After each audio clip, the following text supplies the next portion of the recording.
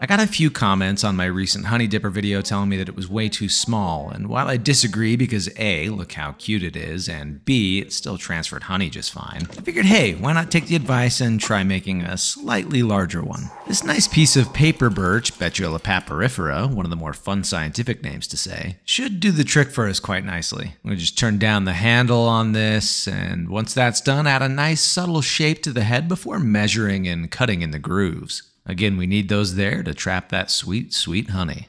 A quick sanding and an oil finish, and there we have it, a slightly less small honey dipper for you all. Now it's just time to put it to the test.